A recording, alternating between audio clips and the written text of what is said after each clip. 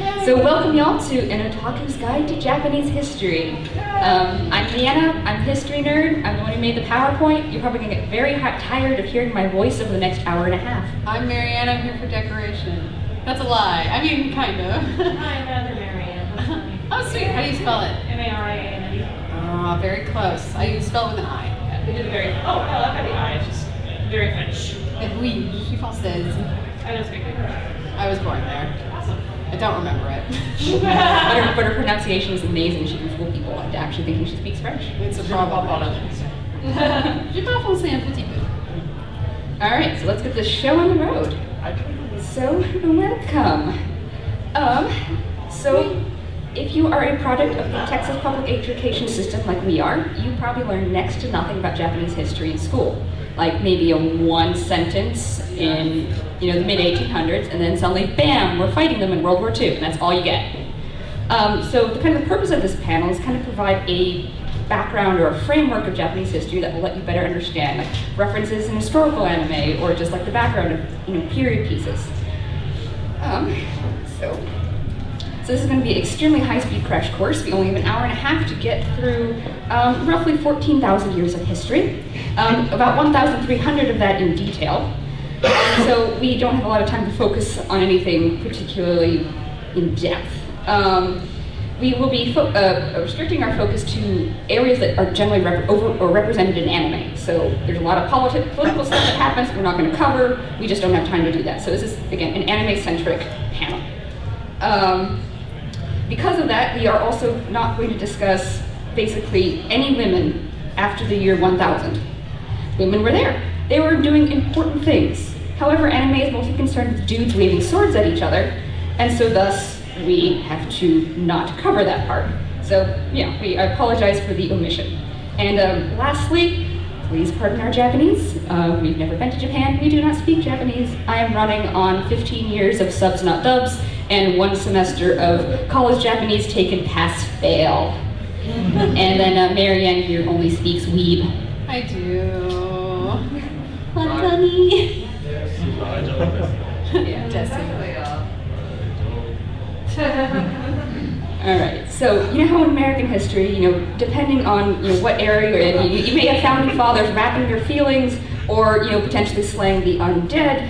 Japanese history is also divided into a number of different eras, and we were using this as a framework to just kind of organize this uh, presentation. We are currently in the Heisei era, which is very interesting from the standpoint that if I ever give this presentation again, I'm probably going to have to update the slide because it's due to end at the end of April when the um, current emperor retires. Um, the eras are mostly general, or uh, generally divided into like, who's in power, which emperor's in power, which family of shogun's in power, and um, so on like that. So when the emperor retires, new era. Um, so it's gonna be weird having to update the slide. Anyway, moving on. So we get to early Japan. Chapter one.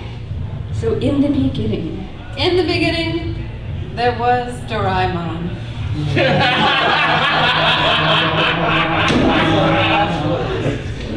All right, so we're going to start things off here with the Jomon period, which was um, which was roughly the, the uh, starting from the end of the Ice Age to about 2,300 years ago. This is a period in which Japan. This is the period in which Japan was mostly inhabited by hunter-gatherers. They lived on shellfish, fish, plants they could um, gather, animals they could hunt. They tended to live in houses that were partially underground. Um, it, the Nera is named after the markings on their poetry, uh, their pottery, which is kind of this corded pattern. Yep, and of course, uh, they were very well known for their raising of the Pokemon Baltoy. Yes. and then moving on, we get to the Yayoi period, in which is um, Japan's Iron Age, roughly from uh, 300 BC to you know 250 CE. During this period, Japan saw some migration from elsewhere in Asia, um, mostly displaced the uh, native Jomon population and, and, and uh, intermarried with them a bit to form what is now the ethnic Japanese. Um, they brought with them metallurgy and agriculture, which led to more stratified society. Um, at this uh, time period, the Japanese didn't really write about themselves yet, but other people wrote about them. The Chinese wrote about them, and which is how we know about one of the very first historical figures that we know about, which is Himiko of Yamatai, um, who was a shaman queen who was in theory buried with 100 attendants. And um, if you happen to see the 2018 Tomb Raider movie, She was in it. Mhm. Yeah, Himiko of Yamatai. And moving on, we get to the Kofun period. Mhm. From 250 to 548. Um, named after these big burial mounds that they uh, they built. Um, at the time, there was lots of strong influence on the arts and culture by Korea and uh, Korea and China. And China. Um, they started the uh, Chinese writing was introduced to Japan.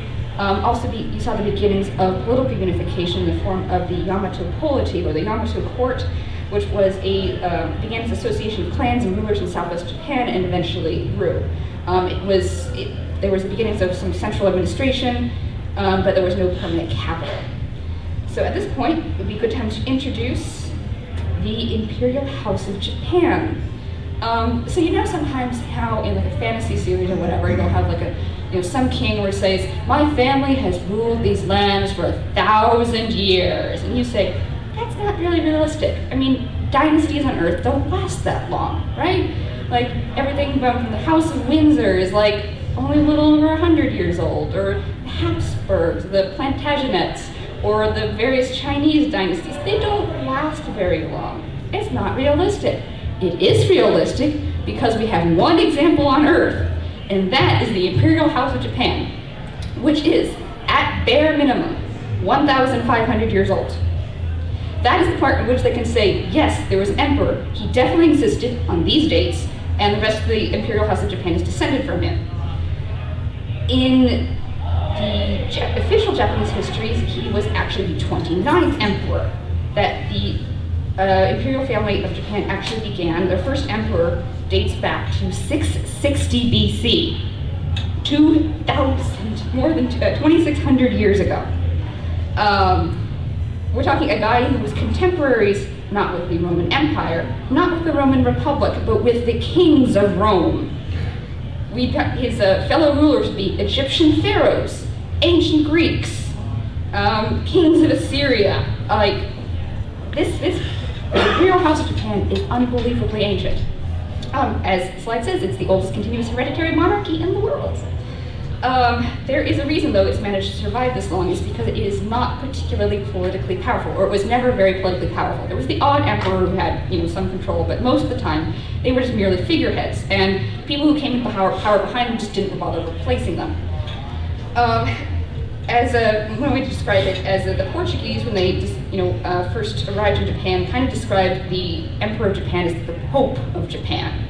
Like he's there, but he's not politically powerful. I say he, but there have actually been like eight or nine Japanese empresses, though not for like the last thousand years. Um, let's see, and uh, historically they're also associated with the Shinto religion. They're in theory the highest authority in the Shinto religion. So moving on, then we get the Asuka period. Cool. Um, this is when uh, Japan actually changed its name. It used Well, to they uh, they started writing about themselves like Yes.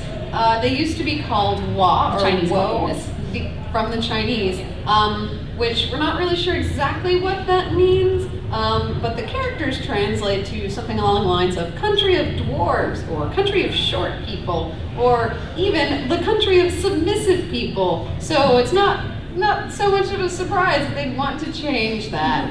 So Instead, they became Nippon or Nihon, which is the origin of the sun, of course, as we know it, um, the land of the rising sun. Yep. A little bit more poetic. Yeah, and anyway, so the era begins with the introduction of Buddhism to Japan. Um, there's still a lot of Chinese influence on social on, on culture. Um, they tried to adopt some more um, Chinese political styles. Didn't really work that way because instead of having like a merit-based system based on examinations, they just kind of made all the offices hereditary. Um, incidentally, if anybody knows an anime that takes place in the Asuka period, please let me know. It was the only one I could not find visual repres- representation of. This particular shot is five years off, and it bothers me so much. All right, so moving on to the last of our early Japan chapter is Nara period. But not that time. yeah. Actually, I haven't quite been to this city because that city burned down, and the new Nara is slightly offset. Yeah. Yeah. um, so the capital was fixed to the city of Nara. It stopped. Uh, they used to move it around every time the emperor died, due to like bad vibes and other reasons. Um, so they had a permanent capital finally, and it was a period of uh, flourishing Buddhist art and Buddhist temples. Um, including the building of a ginormous Buddha statue that was 53 feet high and took a million pounds of copper. It it still exists, right? Yeah. It's, Yeah. it's in a, like temple. Yeah. Yeah. The, the building it's in is the largest wooden building in the world. So Daichi. Yep. It was under construction again when I went You there. didn't get to go? No, I didn't. It was under scaffolding. That was so sad. Another fun fact, even though it's the largest wooden, wooden building in the world, it used to be even bigger. Yep. Then it burned down again. Lots of stuff burns down. Wood. It Yes, burns. wood. Who knew? Wow. Maybe they should build something that wood. All right. Anyway, so now we get to our first like real era in which we're going to go in depth. This is the first period in which you actually see a lot of anime taking place in, which is the Heian era. So, Cool. So the Heian era, which lasted from 794 to 1185. Period was named after the capital city of Heian-kyo, which is Kyoto, the capital of peace and tranquility. Um, it's generally known as being like the classical era of Japanese literature. um, there it was the first period or first period in which there was a development of Japanese culture that was distinct from the Chinese and Korean influence. So it's the first like really Japan Japan period. Um, as, as I said, responsible for many classical works of literature, art, and poetry. Um, during this period, the emperor was in theory in power, but really um, was controlled by the Fujiwara clan, who ruled from behind the scenes. Um, basically, they married into the royal family at every opportunity. Like there would be long stretches in which every single emperor's mother was a Fujiwara. Um, the their, the uh, the uh, the Fujiwaras named themselves imperial regent. When any of the emperors did something they didn't like, they would just kind of have them deposed and would just appoint a new one. Um, it is important to note in this era, or in my discussion here, that um, so you've heard the phrase like history is written by the victors, right? History is also written by anyone who wrote anything at all. And during this period, most of Japan was illiterate. The peasants, of course, didn't write anything down. People who did write stuff down were the very wealthy and powerful people, often who lived in Kyoto. And we are talking here about not the one percenters, the one tenth of one percenters. So just keep in mind, this is, does not reflect Japanese culture as a whole during this period. This is just the part, cool parts that people wrote stuff down and what the rich people were up to. So first off, um, Heian fashion for men, as you can see, it's a bit more boxy looking than a lot of um, later uh, later clothing styles. Hats were very big. Everybody wore hats. Those pointy hats there are um, uh, the pointy hats are eboshi. If you were of lower rank, they might be floppy. If they're pointy, you're important. Um, and the hat with the little quail tail in the back, those are kanmuri. They're much more um, religious or much more formal. You use them for like going to court or for reli- religious ceremonies. And then for women, it is all about layering. All about the layering. Um, they would wear these um, layered silk robes, very thin, all different colors, and you'd have them arranged precisely so, so you could see all the colors at their collar and at your sleeves. Um, the colors were very important. Um, you could talk about, you know, they were changed with the seasons, or who you're politically close with, or your friends. You could say a lot with your colors. Um, so they spent a lot of time making sure they were exactly right. Um, you wear your hair long, as long as humanly possible. If it drags on the floor, congratulations, you are super fashionable. Um, Makeup-wise, they would shave off their eyebrows, draw them really high up in their forehead. They're not represented here, unfortunately, but you draw them really high up in your forehead and you would paint your face white, or as pale as you could get it. Now, the problem with painting your face white is it makes your teeth look really, really, really yellow. So what do you do about this? Bleach them? No, you paint them black. Tooth blackening was um, high fashion for Japanese women all the way up through the 1860s. Um, and uh, want to take a guess on what they uh, were made of? I had to look this up last time. Anybody know what how they made the tooth black? What they it's use. composed of? Nope. Tar? Nope. A combination of vinegar and iron filings. Oh, Jesus. Tasty. Really good for the enamel. Yeah. Yeah. All right, so now we get to Japanese or Hei- Heian literature. So one of the interesting things about this, the literature of this period is that a lot of the stuff that got preserved or passed down was written by women and not men, as is typical in a lot of medieval writings. Um, court women were kept isolated, so they wrote to entertain each other, so kind of like they were sitting around writing fan fiction. Um, they were not permitted to learn Chinese or law or philosophy, so fiction was what they wrote.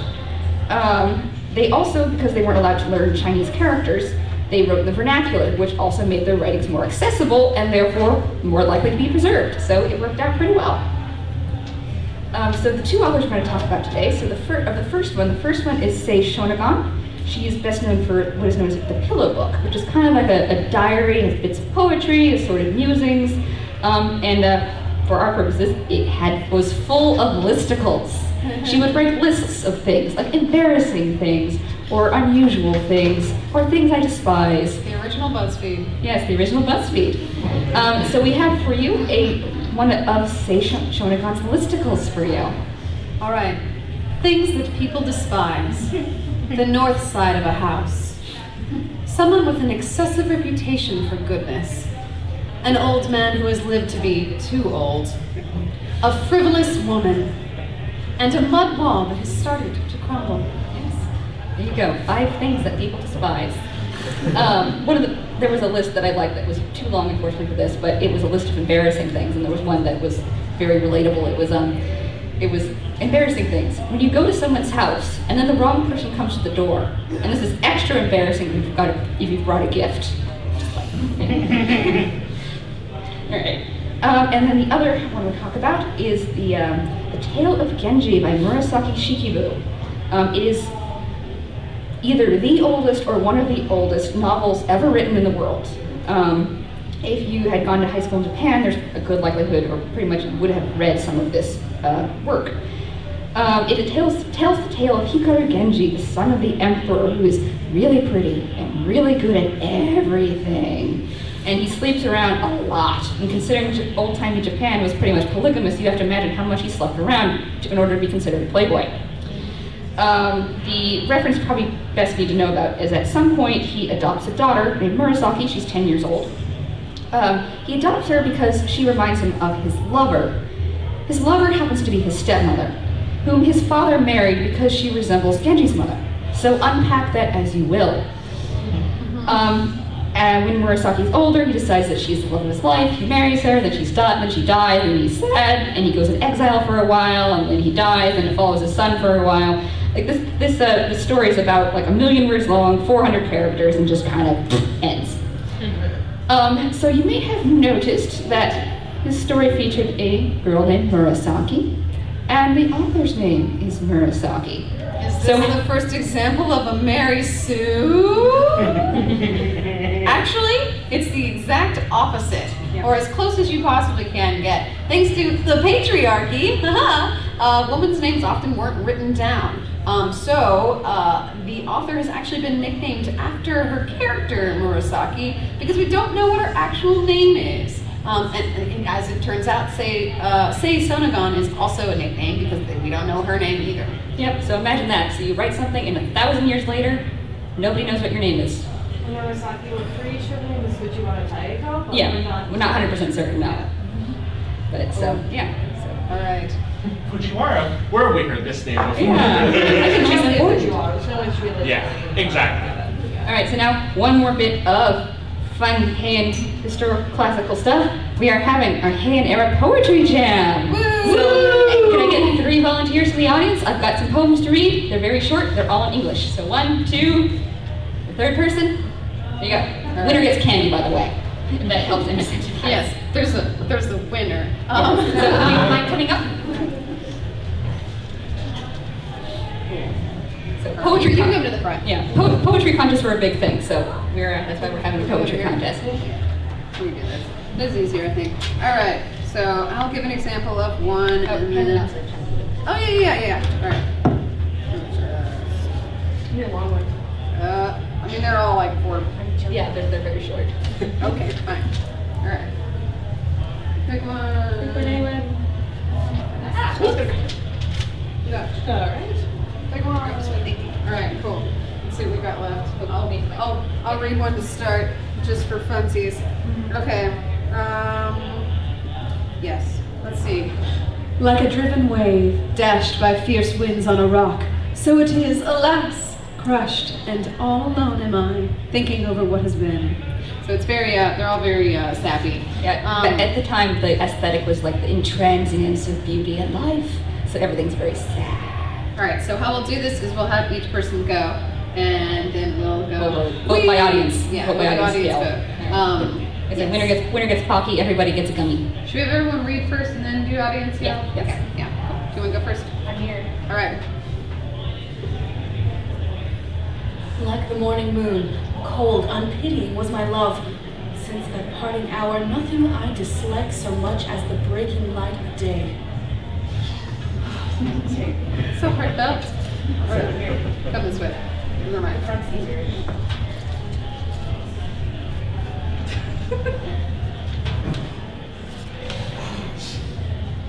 It is for thy sake that I spe- seek the fields in spring, gathering green herbs, while my garments' hanging sleeves are with falling snow reflect.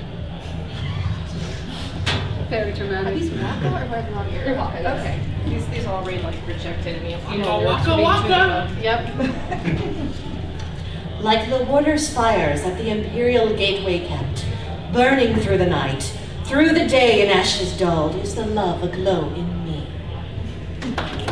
Good. All right. All right. So, all right, four. reader number one, we, we'll do a cheer. Oh. What about round of applause? All right, okay. Reader number one. Reader number one. all right. Reader number two. Reader number three. These were all very, very much the same. Um, all right, be more opinionated, guys. take, take, take a. You got, you got to commit. Two hands All for right, all right, all right. Reader number one. Hands up. All right. All right, all right, okay, cool, cool. Reader number two. Damn it, you guys. Reader number three. I think it's reader number two. All right, all right, reader number two. Okay, so come on, guys. We have we have gummies and Gummies for, gummies for everyone, Pocky for the winner. Everybody gets a gummy. Well, I appreciate that because I totally stuttered through the first line. So But you push, thank you. you push through. No, because no one knows you push through it. Gummy. Damn it! Why did I make you toss it? I got you. I'm a nerd. I don't do sports. I'm me too. Same, same, Alright. same. I was a soccer goalie. So what we're reading from is the Ogura Hyakunin Isshu, which is a collection of 100 waka poems by 100 different authors, compiled by Fujiwara no Teika, and it's the basis for the Uta-garuta or Karuta card deck. Um, If you've seen Chihaya Furu, this is what we were reading from. And uh, credit where credit is due, this is the 1917 MacCauley translation, which I picked because it's more poetic and less literal. Um, it's good for reading. All right, so moving on. So we get to our first anime recommendation, which is Utakoi. Um, it's, it's a couple years old. You can find it on Crunchyroll. Um, it's a series of very short romances taking place in the Heian area based on these 100 poems. Each, you know, each romance is about one poem. They're very short, only one episode to a half an episode. So if you're tired of anime they never get together, here are very short, actually satisfying romances. It's very beautiful. It also doesn't take itself entirely seriously, so you know, don't expect like everything to be oh terrible tragedy. It's a fun series. Really Yes, it is. Really, really, really pretty. pretty. Um, anyway, so moving on. So now we get to what is going on beyond Kyoto's court. And this is the part where I get to talk about tax policy. Yeah, tax policy. He's like, what tax policy? How can that be important? It's very important. So there was a saying about Japanese peasants. First of all, peasants are the ones who get taxed. Um, there's a saying about peasants. there's a saying about peasants. Um, I know it was used later. I'm not sure if it was used at this time period, but it was peasants are like oil seeds. The more you squeeze, the more you get. Um, this is saying the peasants were taxed very, very heavily. The nobility and the Buddhist temples were not. They had carved out tax exemptions for themselves. As accordingly, they become very rich because they're essentially not paying income taxes, and the peasants are left very, very poor. Now, if you're a peasant, you're like, I don't like this at all. So what you're going to do is you're going to basically give your lands over to the nobility or the temples, and you'll agree to work it and kind of be like a serf. But you know you're not going to be taxed because now you're attached to a tax-free estate. So the the effect of the uh, local lords becoming extremely wealthy, and meanwhile revenues for the government fall off, and accordingly they can't provide services. But this is medieval times, so the services they provide are basic law and order. So you get an increase in piracy and bandits. Of course, local lords don't like pirates or bandits either, so they hire private armies and, and warriors to defend their lands, aka samurai. So they become extremely wealthy and militarily powerful at the expense of the central government. And you can see this is going to be a problem with the power imbalance that's going on, all because of tax policy. Um, also at this time, the Fujiwara clan declined in influence, so you have some problems involving the bureaucracy and just the functioning of government. Uh, they ceased minting currency, uh, break down the law and order.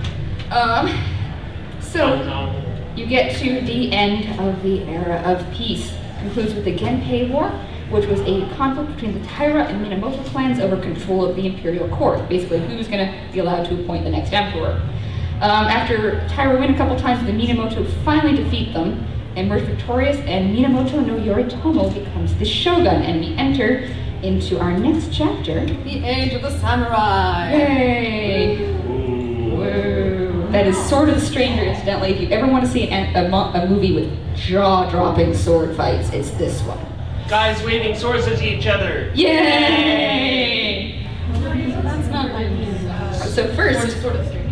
Sword of the Stranger, yes. Um, but Funimation actually rescued the license. I was super happy because they put it on Blu-ray and it needed a Blu-ray. Um, so anyway, so welcome. So first of all, what the hell is a shogun? so first of all, it's the short form of Sei Tai Shogun, the barbarian subduing generalissimo. Um, they were the military dictators of Japan. They were nominally imported by the emperor. Um, however, sometimes they actually weren't in charge at all. Um, it was the uh, form of government was known as a bakufu, a tent government, and you can just think of overlapping layers of influence. Just like there's a government, but really the power behind the throne is this guy, but the power behind his throne is this guy. Um, you could potentially have a situation in which rule in Japan is the emperor, an ex-emperor, an imperial regent, a dictator, a shogun, the regent to the shogun, and a retired regent to the shogun. Only one of these men is in charge. Which one? They know, but no one else does. Uh, so moving on. Now, so with the Minamoto no Yoritomo becoming shogun, we enter the Kamakura period. Kamakura! Yay! Yeah, awesome. So the capital was moved to Kamakura, and you had a feudalistic society, land-based economies, local military rule with lords and vassals. Um, the Minamoto lost power extremely quickly and were basically controlled by the Hojo clan or other other various um, lords. Um, at this point, they come, here comes the Mongol invasions, and there is, it should be noted, fact, I don't think a lot of people remember, that the Mongols held the largest land empire that has ever existed. They ruled from Eastern Europe to China, to India, Vietnam, an incredible swath of territory. And during the Kamakura period, they decided to invade Japan. Now, as you might note from the standpoint, it's only a single bullet point on one slide. They obviously did not succeed. Um, their first invasion was uh, driven back by a typhoon, and some years later, they sent a larger invasion. We're talking 4,000 ships with 150,000 soldiers, also thwarted by a typhoon. The so-called kamikaze, or divine wind, that saved Japan. Um, though there, even though they didn't succeed, this did cause some problems back home. That the cost of defending against the Mongols made the uh, local lords very mad because it cost a lot of money and they didn't get anything out of it because there were no new lands to distribute, um, which decreased the Kamakura Bakufu's influence. Um, also during this time we get the Kenmu Restoration, which the emperor briefly gains power and then loses it again to the next shoguns. And so first of all, samurai. We should talk about samurai.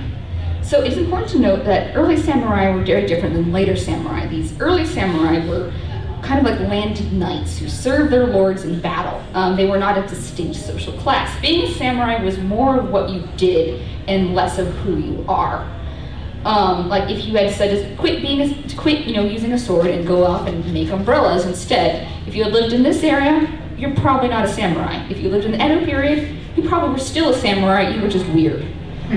Um, it also should be noted that um, samurai been heavily romanticized about using swords. They did use swords. They did carry swords. However, they didn't actually use them as much as you think they would. Swords aren't actually that useful in a large battle. You can't kill anybody unless you're about this far away. Swords are also expensive. They take a lot of metal. They take a lot of work to put together. Um, you also require a lot of training. Have you ever seen any, you know, playing lightsabers with each other? You know, unless you know what you're doing, it's hard to use a sword. Um, for peasant armies, generally they would actually just use pole arms. Like most samurai would actually, a lot of samurai actually just use bows and arrows. Um, peasant armies generally used pikes, spears, various kinds of pole arms because two reasons. First of all, they're much, much, much cheaper because most of it's made of wood. If you're an extremely cheap lord, you just have them sharpen the end. If got a little bit more money, you put a pointy bit on the end. Um, they're also much easier to train to train because, you know, presumably these peasants know how to use farming implements and you just say poke them, poke the enemy. Mm-hmm. Much easier to understand. And, you know, if you're, and also if you know you've recruited say a poor 16-year-old peasant boy who's never left his village, you also want to I want him to keep as far away from his enemies as possible because he's less likely to start screaming and running away. So yeah, pole arms, samurai, less swords. Alright, where am I? I lost the spot on the page. Oh, alright, here we go. So now we get into the Muromachi period, also called the Ashikaga period. Um, these local lords are known at, now known as daimyos, and political power continues to fracture. The daimyos become more and more and more powerful. Um, also during this period, we get the first contact with the Portuguese in 1542. Um, the period and or the period also during this period is happens what is known as the Onin War, which is another battle of succession. The thing we need to know about the Onin War, though, is it is the point in which we, everyone realized Japan is a free-for-all. This war raged for about 10 years, and no one could stop it. At this point, the lords realized, all the daimyo realized, that you can take what you want. You can have what you want. The only thing to stop you is the size of your own army, the size of your neighbor's army, and the extent of your own ambitions. Which leads us to our next chapter, Sengoku Jidai. Sengoku Jidai, chapter four. So this is, or, so this is Japan's Game of Thrones period, essentially. Uh, conquest, alliances, betrayal, strategic marriages. If it could happen, it did happen, and it lasted for like 130 some years. So that's a lot of seasons. Um, the power struggle between uh, the daimyo for control of Japan, and it finally concludes with the establishment of the Tokugawa shogunate. So it, anime really loves the Sengoku period. Like they said a lot of stuff in it. Everything from Inuyasha to this season's Dororo, which is amazing by the way, so please watch it if you're not watching it right now. Um, there are some set in the Sengoku period, you start getting really weird anime set in the period, like um, Sengoku Nightblood, in which everyone is a werewolf or vampire. um, and then you get Nobunaga the Fool, in which they hang out with Joan of Arc on another planet and there's mecha. Why not? And then there's this one here, uh, Ikemen Sengoku, which I'm only including because Crunchyroll gave it an amazing subtitle. I know, I know. It's, it's CGI and terrible and wonderful at the same time. Because why not? Because why not? And everyone is so pretty. All right, They so weren't this pretty in real life. no, they're No. definitely not. Um, oh, and uh, kind of emphasize they are definitely were not. There is literally an entire subgenre of turning middle-aged, bloodthirsty warlords into cute and hot girls. Uh, there are way more than this. This is like 10 seconds of Googling. Like, seriously, Japan, like, why? Why So that weeb trash like me can watch half of them? Yeah, yeah, but, but, but still, like, think how terrified it would be if we turned the founding fathers into hot girls. This is weird. Come on. Um, working on it. Yeah. Working on it. Yeah. I want to see a sexy Abraham Lincoln lady. Same story. It exists. Oh God. Um, Thank you, kind sir. now I know, but never go again. Um, so anyway, so Sengoku period is too long and too convoluted as to actually go into the twists and turns of what's going on. That would literally take an entire another panel or more. So we're just going to discuss like seven of the most prominent figures from the period that you're likely to see represented in anime. And, and uh, Marianne here is going to provide fun facts about Sengoku warlords. Yay! So first up, we get Takeda Shingen. I put a little map there to show where they were. Um, the he's known as the Tiger of Kai. Um, he was best known for cavalry tactics. He was also a very able civil administrator. A lot of his ideas were copied by later people. So fun facts. Oh, so first of all, how many of you are over the age of 20? Pretty much everybody here. So you want to feel really inadequate? when Takeda Shingen was about 20, he had deposed and exiled his father when his father attempted to name one of his brothers as his clan heir. So, uh... So how's your relationship with your dad at age 20? I didn't kill him, so I think it's a plus. Oh, he just, you know, he just exiled him. He didn't kill him. Yeah. Oh, yeah. Actually, my, Oh, he did kill him. Okay, never mind. he still deposed him, so, you know. Uh, right. And yeah. also, while he may have been a Buddhist priest and a vegetarian, uh, that didn't stop him from sometimes sentencing criminals to be boiled alive. Scary, yeah. scary vegetarian. Yes. He made people soup and didn't eat it. Yeah. All right. So next. Conquest. That's so awesome. I know. So next up, we get Uesugi Kenshin, better known as the God of War. He was also really good at ruling. He's also a really good general. Yep. Now, fun facts. He had an epic uh, respect-hate, like shonen anime rivalry uh, with Takeda Shingen. They fought a lot. They actually may have even fought each other in person, which, uh, contrary to what fiction tells you, almost never happens. It's kind of like playing chess and putting and having your kings check each other, which is really dumb. I mean, I ship it. So, uh. Fourth Battle of Kawanakajima. Yeah. Awesome story. Yeah. yeah. I mean, according to legend, um, at one point Kenshin burst into Shingen's camp on horseback and attacked him with a sword, but Shingen countered his strike with a sweep of his iron war fan. It's very dramatic. Yes. And so next up we get Sanada Yukimura. He was not as high ranked as the first two. He kind of bounced around to different lords during his time period. Um, he is generally depicted as using a spear. Yep, more realistic. All right. Uh, his actual name was Sanada, uh, Nobushige. He actually never went by Yukimura at any point in his life. Um, Yukimura was made up by an author in the Edo era, and that's where he was remembered as. Um, he, and he actually died at the epilogue of the Sengoku period, the stage of Osaka Castle. He sat down in camp, took his helmet off, and was so exhausted that he fell to attacking enemy forces with little resistance. So it's kind of like dying in the last page of the book. You're like, really? really? Oh, this guy. Yeah, but he made it to 48, though. Yeah. It's pretty impressive. Yeah. So speaking of making it to 48, so we get to a guy who actually made it to his 60s. What? Which is Date Masamune. He can ride his horse with no handlebars. This, yeah.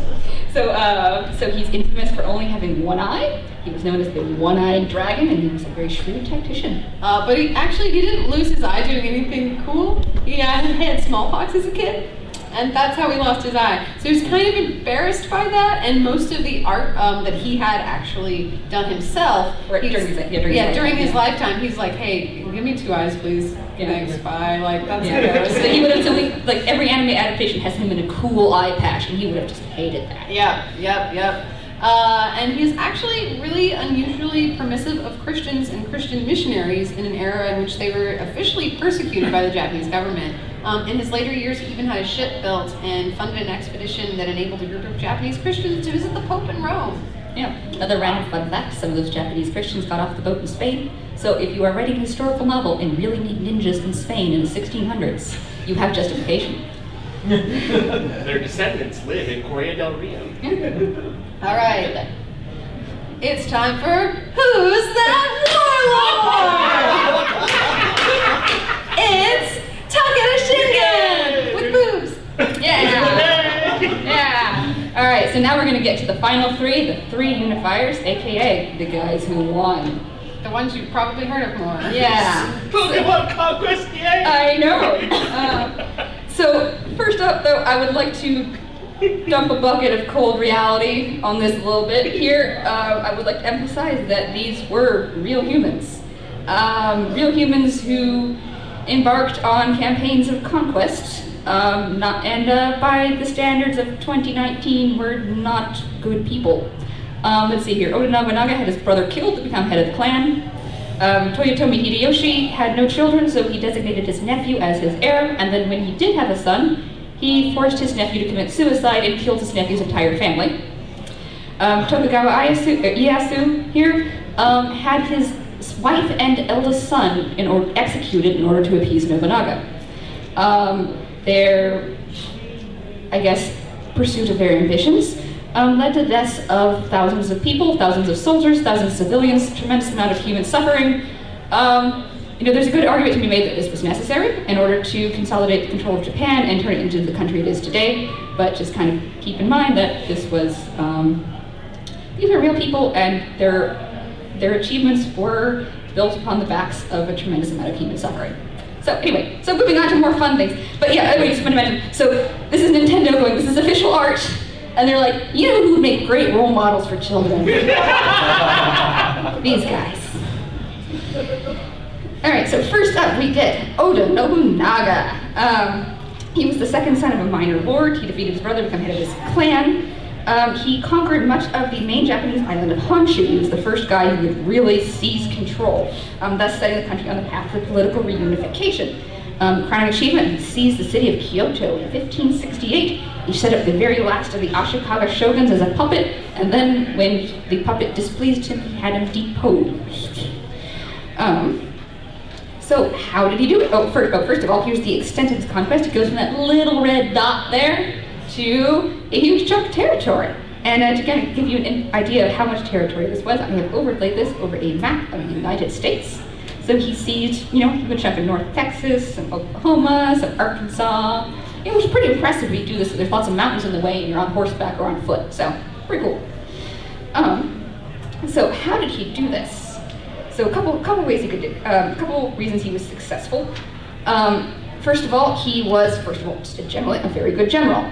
Um, he, there was particularly one of his early battles in which he managed to defeat an invasion force, about 25,000 men with only two to 3,000 of his own. So he's dang good at fighting. Um, he also had benefited some, some really good luck. Um, none of his, his enemies did not unite against him. If uh, Takeda Shingen and Uesugi Kenshin, it was generally said if Takeda Shingen and Uesugi Kenshin had united against him, he would have been toast. But they did not. They also conveniently died. Um, Takeda Shingen uh, died first, and it, his uh, domain was left in the hands of his much less competent son. Um, and then uh, Uesugi Kenshin, right before he and Nobunaga were scheduled to go up against each other, died very suddenly. And to the point where his uh, generals thought assassination? No, just a very poorly timed case of stomach cancer. Um, let's see here, where was I? Um, also, he, uh, Nobunaga was um, implemented some economic reforms, um, made, uh, allowed trade to flourish, and of course, when the economy is good, it feeds the engines of war.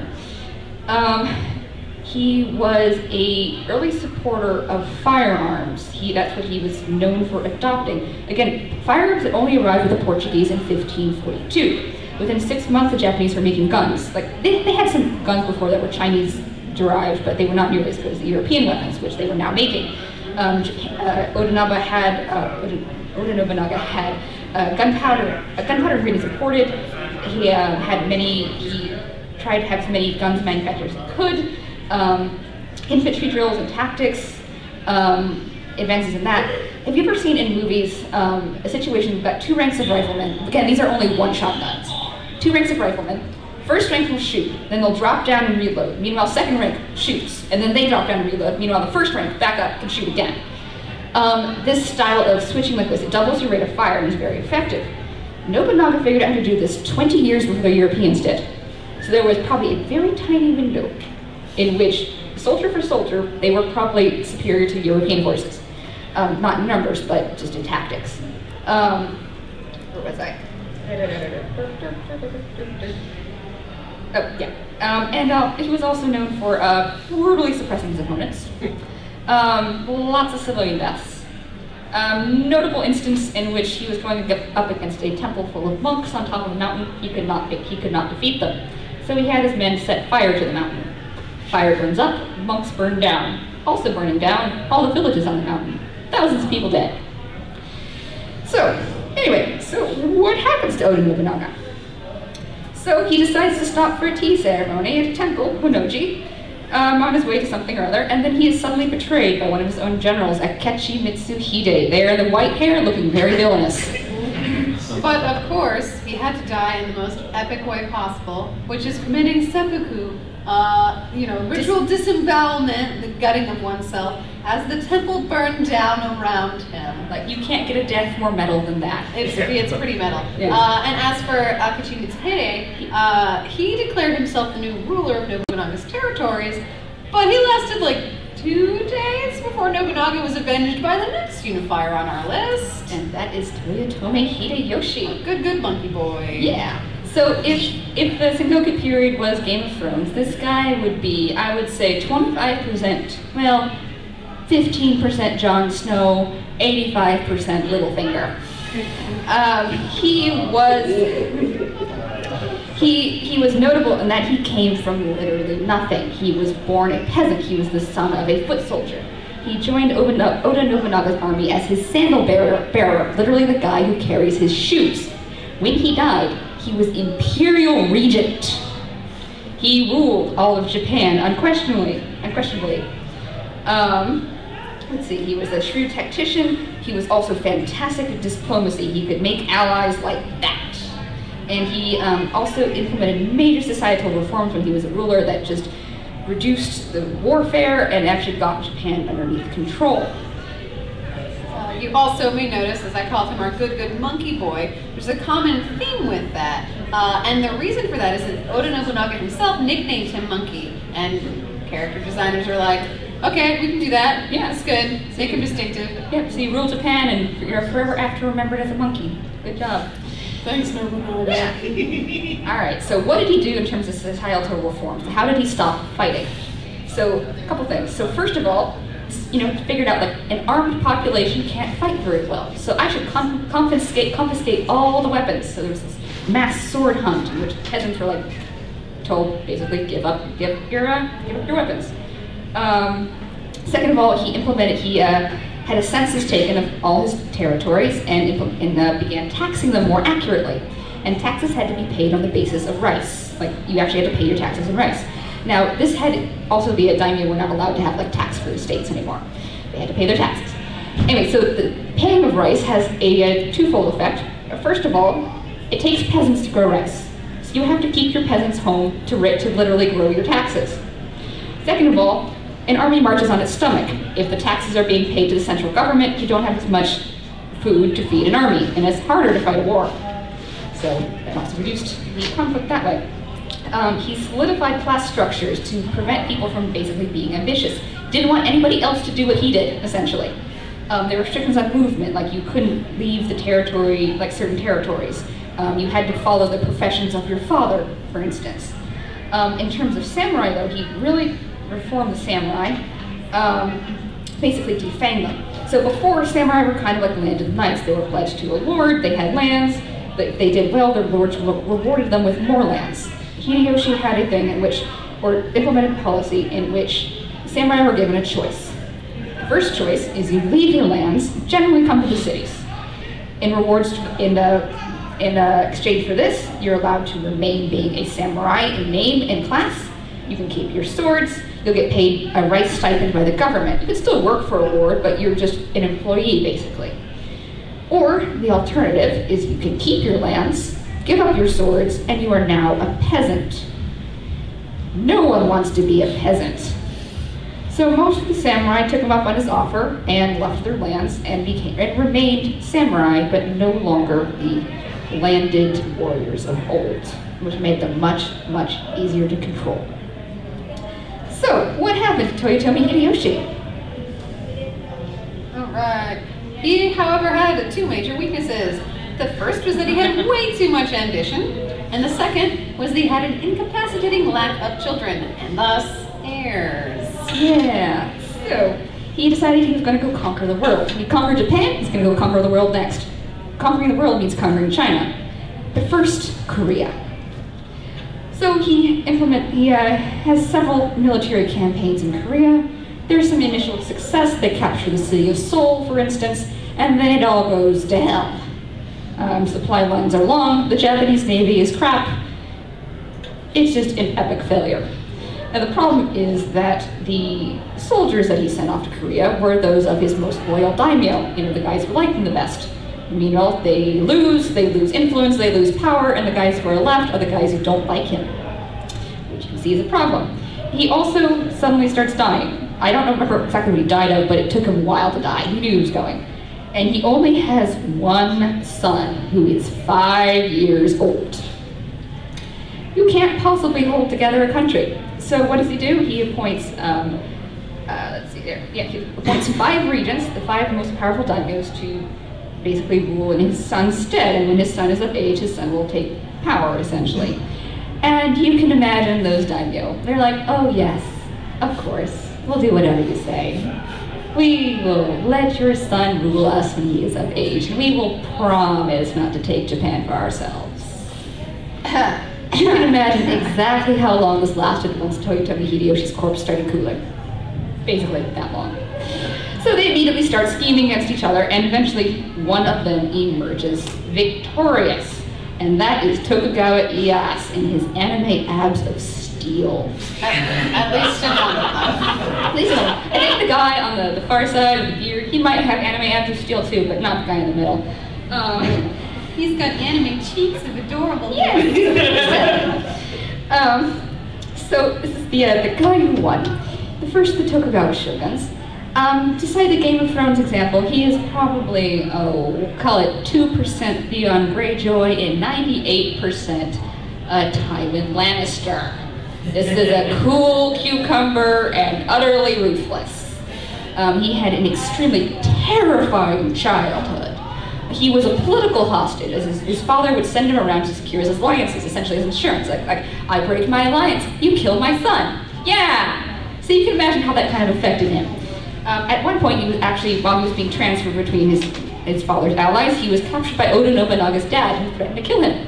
And the old Lord Tokugawa was like, sure, do whatever. Keep him alive, I've got a son. If you kill him, that will show my allies I need to hold to our agreements. So despite this, that when Tokugawa Ieyasu grows up, he actually follows around the guy who threatened to kill him. Um, he becomes a ally of Oda Nobunaga and becomes quite powerful. At the time Toyotomi Hideyoshi takes power, he is the number two guy. They make some arrangements that uh, Ieyasu will support him. He also doesn't have to go off to Korea, which is nice, so he becomes more powerful. And so he is very much the number two guy, and when Toyotomi Hideyoshi dies, he is very much the number one guy. So during this conflict between the daimyo after the death of Hideyoshi, we finally conclude with finally concludes the grand finale of the Sengoku period, which is the Battle of Sekigahara in 1600. This battle was colossal. We're talking 160,000 men. Now, I throw out numbers sometimes. They don't really mean anything. Like when you get to some point, like how many men is 160,000? I don't know. So I guess we're gonna put this in a visual metaphor. So um, y'all are anime fans, probably not a lot of crossover football fans, but this is also Texas. Um, have you ever seen the uh, the Red River Rivalry football game? Cotton Bowl Stadium Dallas. You know, UT versus OE, uh, University of Oklahoma. One side's wearing burnt orange, the other side is wearing garbage. um, so the stadium split exactly down the middle, right? So imagine those two halves trying to kill each other. Now imagine that times two. A lot of people. Big battle. Enormous battle. Anyway, it finally resolves with the, the uh, victory of the Tokugawa Associated Eastern Army um, over the Toyotomi affiliated Western Army. Um, incidentally, if you want to see anime version of the Battle of Sekigahara, the anime Drifters starts out first minute of episode one with the Battle of Sekigahara. So it's cool. So Tokugawa Ieyasu here, um, he becomes shogun in 1603, and he basically immediately resigns. He is shogun for only like two or three years. You're like, why did you go through all this effort to only only last like two or three years? Well, because he has read all the books and he's seen all the movies and he knows how this story goes. so he appoints his son as his successor, right? And he basically is the power behind the throne. Like he allows his son to consolidate power, and everybody knows if you cross his son, you have to deal with daddy. Nobody crosses his son. And uh, he eventually gives his son one final present, which is the siege of Osaka Castle, which is where um, uh, Toyotomi Hideyori, son of Hideyoshi, is living. Castle falls. Hideyori and his mother commit suicide, and because, again, Tokugawa is a cold cucumber, he has Hideyori's infant son killed. Snips those plot threads, there will be no sequel. And thus establishes the Tokugawa dynasty, which will rule Japan for the next 260 years. Oh, one mention. I forgot to mention the Battle of Sekigahara here. Now, the, the losers of the Battle of Sekigahara actually ended up getting the last laugh. Uh, a number of the defeated clans helped take down the Tokugawa shogunate 250 years later during the Meiji Restoration. Revenge is a, is a dish Seth Revenge is a dish, dish served very, very, very cold. So anyway, we get to our anime recommendation of the Sengoku period, which is Sengoku Basara, or sometimes known as Samurai Kings. It is a ridiculous anime based on a fighting video game, um, featuring all of the prominent uh, Sengoku warlords. So we have up there at top, starting going clockwise, we have Oda Nobunaga, who drinks blood, uh, drinks wine out of a human skull. We have Akechi Mitsuhide, who li- literally runs around with the Grim Reaper scythe. Um, and then we got uh, Oda Nobunaga's brother-in-law, whose name I can't remember off the top of my head.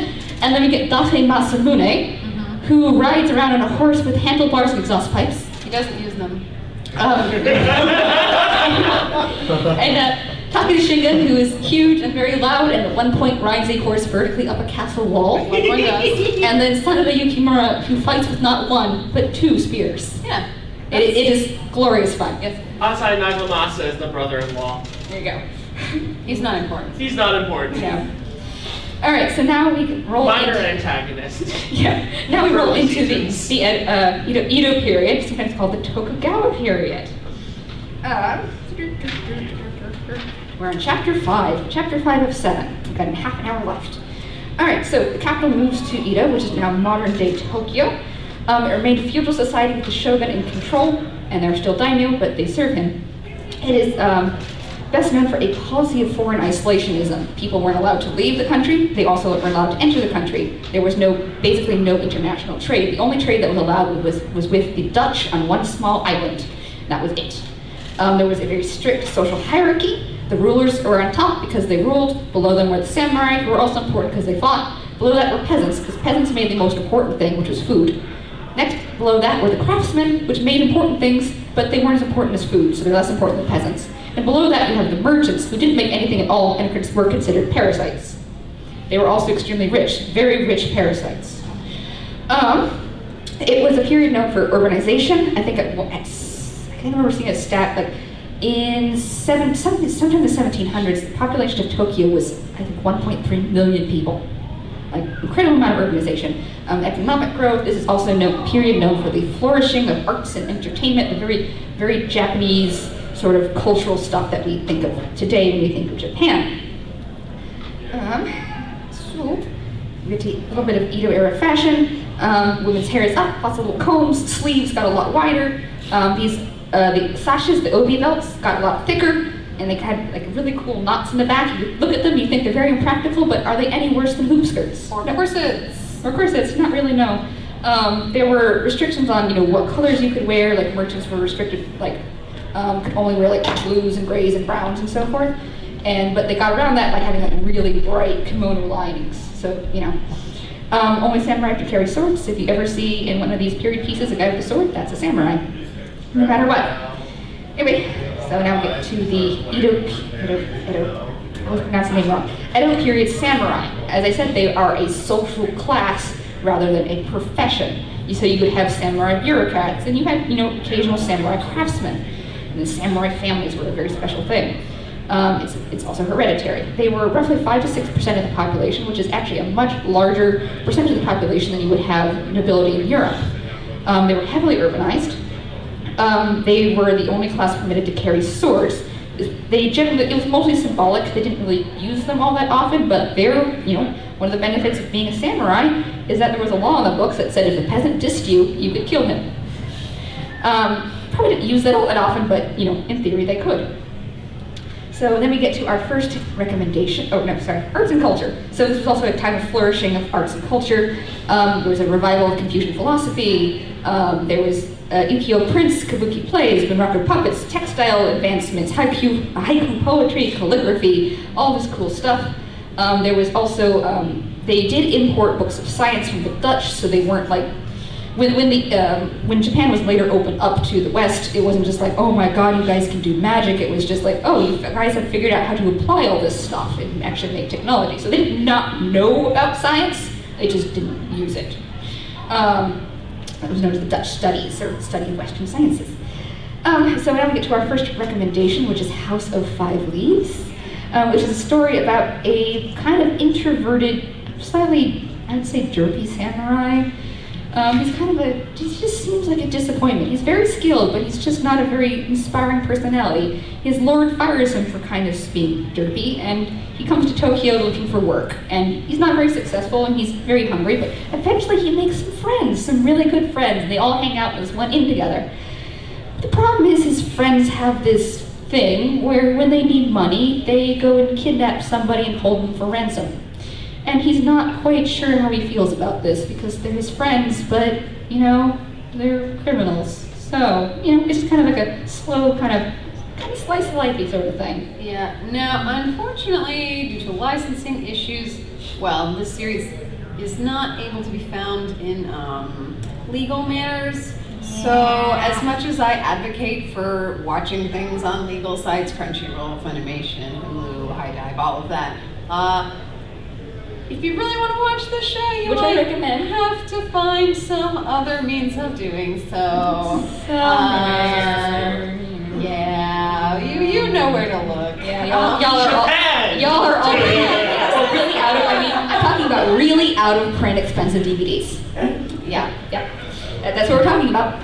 Anyway, y'all are all old enough to remember the Dark Ages, which gets us to our second second recommendation. Because this was a realistic one, I get to recommend a really unrealistic manga.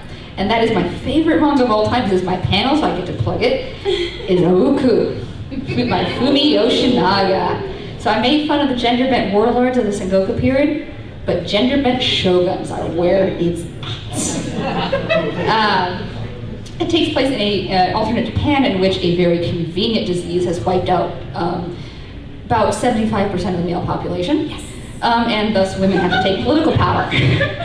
um, this manga has everything. Um, it's got history stuff that kind of walks through the Tokugawa period, kind of shogun by shogun. It, I think it starts out in the 1600s, and the last volume I read it was like in the 1800s. Um, it has some it kind of interesting from a sociological perspective because it talks about how this would actually work. Like how a society with that level of, of uh, a sex imbalance would actually function.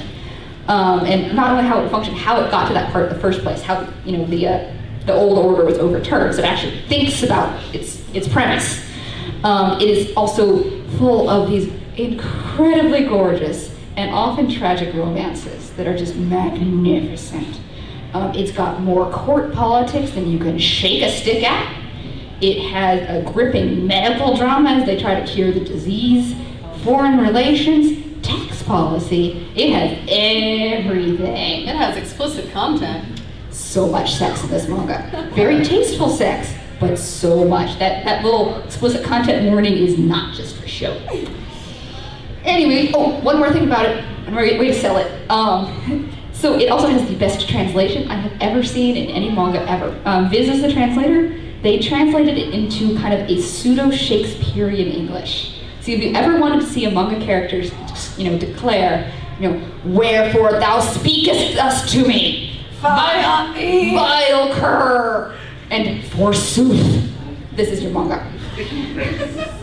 It is absolutely excellent. And it's not just me who thinks it's great. Um, it was actually nominated for an Eisner Award.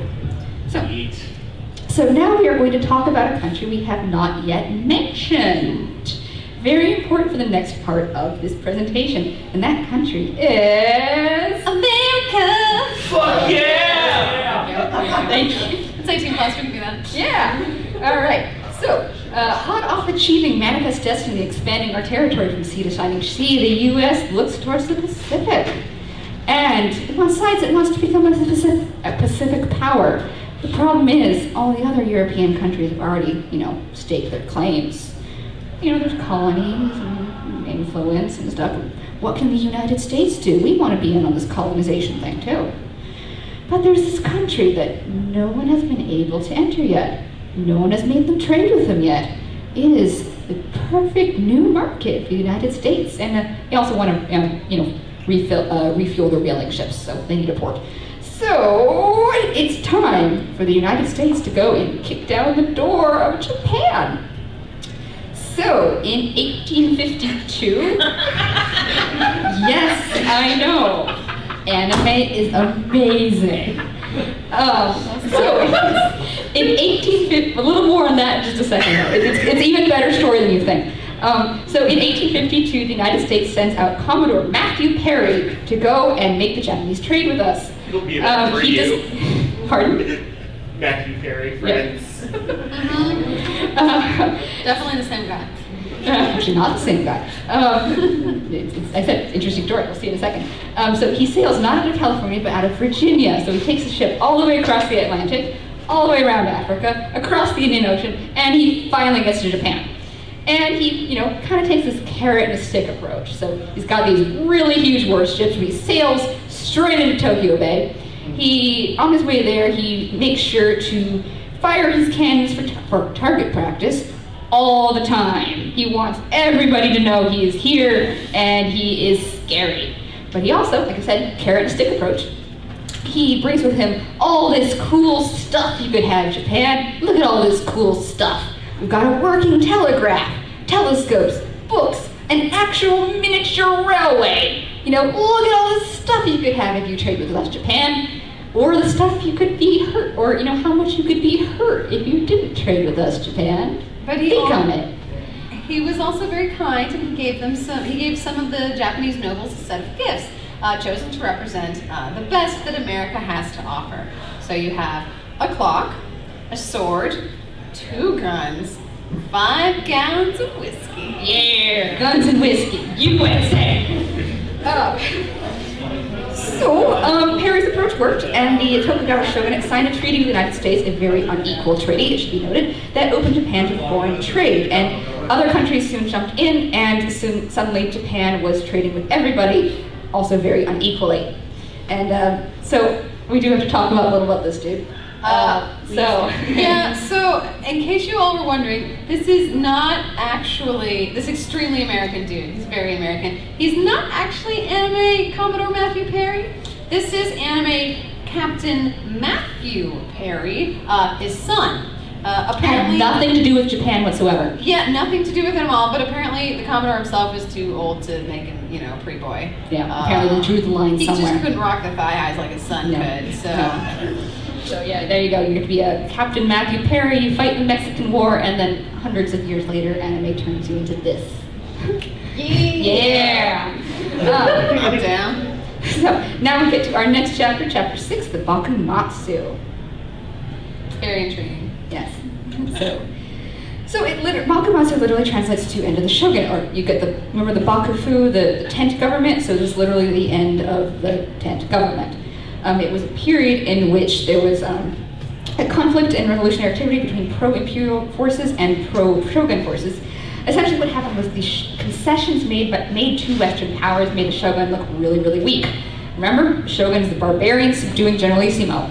Barbarians have just kicked down the door and they're in your house and taking your stuff. You're not a very good barbarian subduing Generalissimo. So there was also other social problems that were going on at the time. Um, urbanization putting pressure on peasants and agriculture. Merchants are becoming are very wealthy, but they have no political influence. They're not happy about that. Um, the nobles owe debts to the merchants, which kind of turns the social order on its head. Due to the new trade with foreign countries, tr- the economy has to shift very quickly. Like for instance, um, the Western countries had gone through the Industrial Revolution and can produce cloth very, very cheaply, which immediately puts, uh, and now it's much cheaper to import cloth than to produce your own. And for example, the entire Japanese textile industry crashes, and this happens in multiple industries in Japan. So terrible economic problems.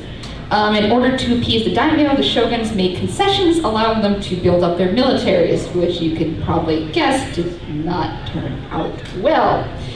Um, eventually, um, let's see, eventually, due to all this conflict, the last of the Tokugawa shoguns um, abdicates in 1868. The emperor officially becomes power, uh, the uh, in charge, not, not really, um, and the capital is renamed to Tokyo, literally Eastern capitals. The ac- capitals actually moved to Tokyo, and yeah, and then we get from there. So, talking about the actual conflict, the pro-imperial versus the pro-Bakufu forces. Um, slogan of the pro-imperial forces "Revere the emperor, expel the barbarian." Um, yes, the barbarian meaning us. Yay!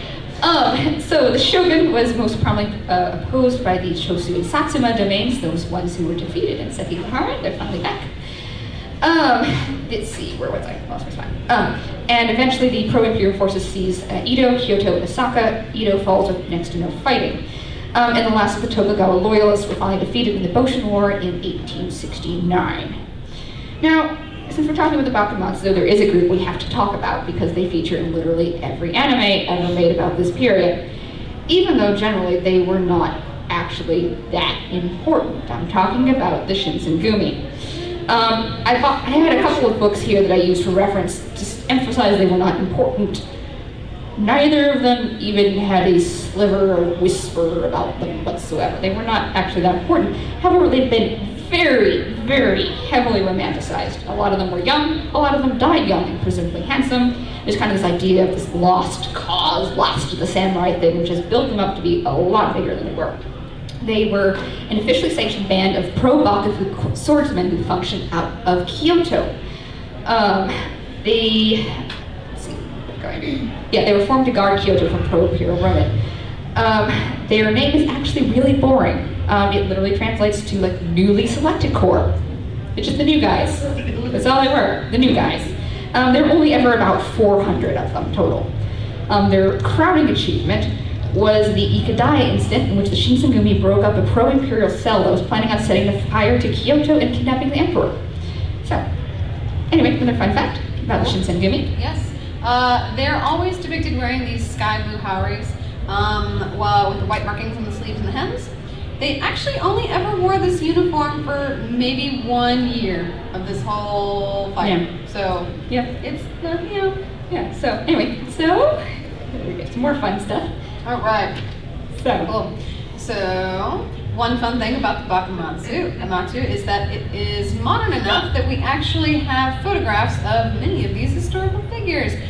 So, are you ready to have your vision and dream shattered? yeah. So, it. Do it. so here we have three of the Shinsengumi members as depicted in the Otome game Hakuoki, uh, which also has many anime adaptations. First we have Vice Commander Hijikata Toshizo, Commander Kondo Isami, and Third Unit Commander Saito Hajime. You do the honors, Marianne, of showing us what they actually look like. All right, and here they are. There they are. Yay. It's There's bunches. Kind of looks like Kaga Takeshi. Although, a little bit of credit to Haji, Sa- uh, Sa- Saito Hajime, though, that's him kind of old, so he presumably had more hair when he was young. Um, Yep. yeah. You mean they weren't vampires? No, they were not vampires, Probably unfortunately not. I mean. Yeah. Um, though we would like to credit the Token Ranbu anime for actually trying. They tried for real. They trying. They Uh, tried. and- Look at that. They tried. Yeah, tried. look, they even beat a photo. Yeah. Like he's a, it's a pretty photo now. It's but it's like a legit, you know. Yeah. So they tried. He hosted Iron Chef. So anyway, we get to our anime recommendations of the period, and so both of them are Shinsengumi based. I picked two from slightly different genres here. So first up, we get Peacemaker Kurogane, which is about a mid, it's a mid 2000s shonen anime with a very yelly mid 2000s anime shonen protagonist who joins the Shinsengumi in order to avenge the death of his father. And the reason I recommend this one is that it is surprisingly grounded for being a um, a shonen anime. Like, um, it never. It makes sure it is very focused on the fact that it is about a group of people whose job it is to kill other humans. It is very dark. It is surprisingly bloody. Um, there's like just not a lot of like you know, it, it, it's like literally about killing other people, and they emphasize this. At one point, the very yelly, angry shonen protagonist gets a man killed because he name drops a name when he should not drop a name, and the Shinsengumi member he is with has to switch to kill the witnesses mode. This anime gets dark. Um, it also has- some very spectacular sword fights. They actually like animated the sword fights to look like sword fights instead of like speed lines or let me fire a beam of energy from my sword. They're like actual sword moves. On the kind of other end of the spectrum is Hakuoki here, which is about a girl who dresses as a boy to join the Shinsengumi in order to find her missing father.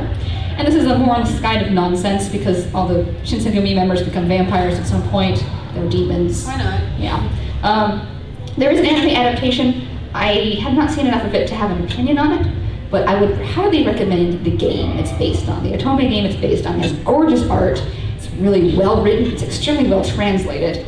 Um, it is chock full of historical detail despite the vampires nonsense. Like there's actually like a glossary or like a little mini encyclopedia within the games. You can look up like the various factions and stuff. It is like hardcore, like it's for like girls who like history a lot. Um, Sometimes they're husbands. and sometimes their husbands, yes. And um, My wife is not here. and uh, the uh, the game you can pick it up on Steam. Um, it's, it's broken into two parts, and you can get it like during a Steam sale for like ten bucks. So you know it's cheap, it's good, it's great. I highly recommend it. Anyway, moving on. So now we get to the Meiji era, and which starts being a little bit less fun here for me to talk about because it becomes a little bit more depressing and based on real life. So during this period, um, Edo is renamed Tokyo, becomes home to the imperial court. There is a large-scale adoption of Western customs and governmental styles. As one, um, it becomes a republic, like not like a republic, but more of a representative democracy or representative government. As one book I put, one book I was reading put it, it became, it um, essentially transitioned. Remember, Shogun retired in 1868. They adopted their constitution in 1889, essentially transitioning, just transitioning from a feudal, feudal society to a, the, as the book I was putting it, the only uh, representative government east or east of the Suez Canal in the space of 21 years, like in time, just less than a single generation. Um, the samurai were not allowed to carry swords anymore. The daimyo were essentially paid off. They became members of the nobility, but they weren't like landed. This is not like you don't have a territory anymore that you govern. Um, also during this period, the Japanese start building up their military and modernize their military, and they began pursuing expansionist policies. They um, uh, seized Hokkaido in the north. Um, they fought wars against China and Russia, um, eventually annexing Taiwan and Korea. Korea. Korea will remain a colony of Japan for the next 30 years, and there is very bad blood between Korea and Japan even to this day over that time period. Um, they were Japanese were not beneficent rulers by far. Anyway, so we get to our final chapter. We've got eight minutes left. Would y'all mind staying over if we go over a little bit? All right, cool. So now we get, If they like. if you let us. All right, we'll have to hurry. All right, so 20th century And yeah. and beyond. So first up, we have the, I'll try and hurry, we have the Taisho era. So Japan joins the Allied powers against Germany during World War One. They seized German-controlled ports in China and German-held islands in the Pacific. They joined the League of Nations at the end of the war to uh, promote world peace. And uh, one of their contributions was to League of Nations were like, hey, League of Nations, can we put like a clause in our charter that says we're not going to be racist because y'all are all white, we're not. And the rest of League of Nations was like, "Mm, nah. And Japan is like, "Ah, all right, be racist. Um, they, uh, there was some movement toward democratization. Um, let's see, uh, man over 25 got the vote. Also during the, this period was the Great Kanto earthquake, which destroyed most of Tokyo and Yokohama, around 3 million homes, leading to the deaths of about 100,000 people. Okay, so now we get to Showa era part one. Um, so rise of nationalism, authoritarianism, and military rule in the 1930s. Japan pursues expansionist policies, and as I said before, is not a beneficent overlord. Um, there is still a tremendous amount of bad blood between Japan and the rest of Asia over a lot of this. Um, Japan, uh, for example, um, to kind of do a study in contrast here. So Germany, after the war, kind of owned up to what it did. It acknowledged that what it did was very bad, it was their fault, and they will never do it again. They teach it in their schools that they will never do this again. Japan has been a bit more unwilling to admit their war crimes. Um, for instance, um, one of the big sticking points between Japan and Korea is the use of what is known as comfort women, which is a euphemism for women who were pressed into sexual slavery to Japanese troops during the war. Um, overall, overall throughout Asia, there were about 200,000 women who were essentially forcibly raped during this period. Um, and uh, I think Japan came to an arrangement to pay off some of the survivors of, of this program with Korea. Want to guess what year? 2015. And it's still not all the way resolved. Um, there is a particular shrine in Japan that's dedicated to their war dead. And every time someone important visits that shrine, like usually the prime minister, the rest of Asia, China and Korea, will literally lodge like a formal diplomatic complaint because they consider it to be honoring Japanese war criminals. It's kind of a really ugly time. Um, also, I would have to have to admit, talk discuss the uh, what is known as the rape of Nanjing. Um, if you ever want to know the extent of human brutality, um, look it up. This is a happy panel, so I'm not going to talk about it now, but oh god.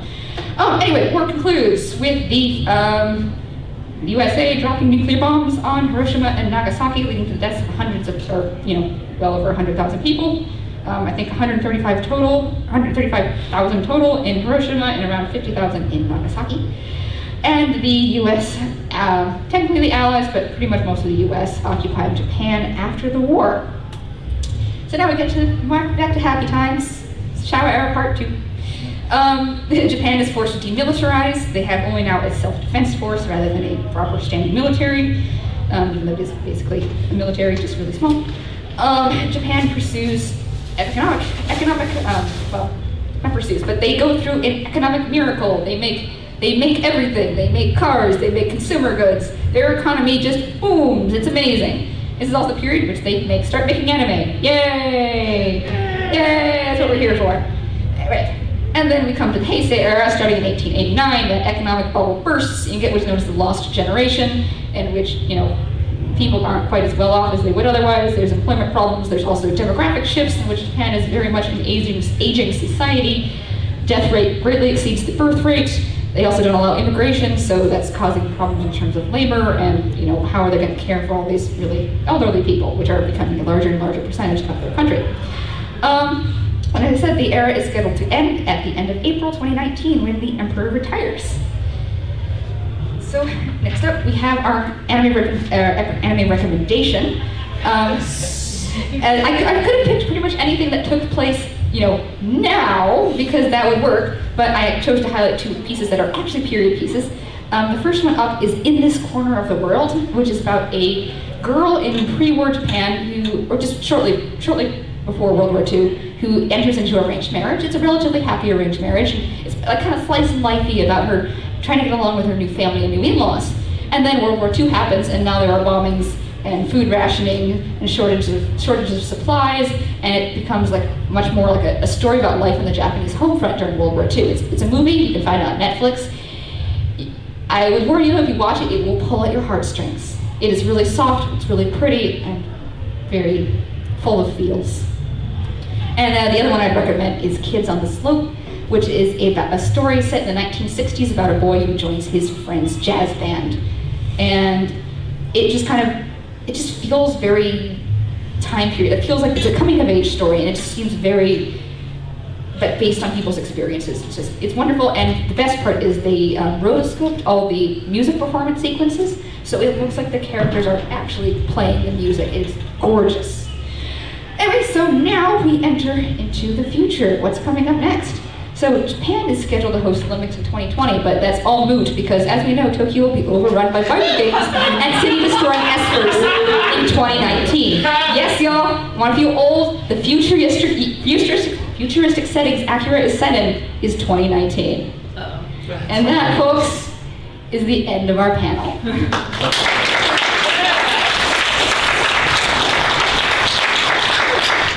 two minutes to spare. Four two, thousands of years of history, for two minutes to spare. Woo. Well, thank you, thank you all very much for coming out. That was really, really good. Thank you. Uh, before we, any questions though? I forgot to ask Scott for questions. Yes. There's a really good kids book called A Thousand Cranes, based on after the, the bombing mm -hmm. during World War II, and it's literally how people are affected after the bombs have hit and yeah. radiation poisoning. Yeah. Yeah, I, I, would I would also mention with that movie that um, the girl is from Hiroshima and her family's in Hiroshima, so you can guess how this ends. Yes. Spoilers. like, yeah. The other contrast, though, you can do is find out that the firebombing in Tokyo. Oh yes, the firebombing actually killed more people than the. Indeed, yeah.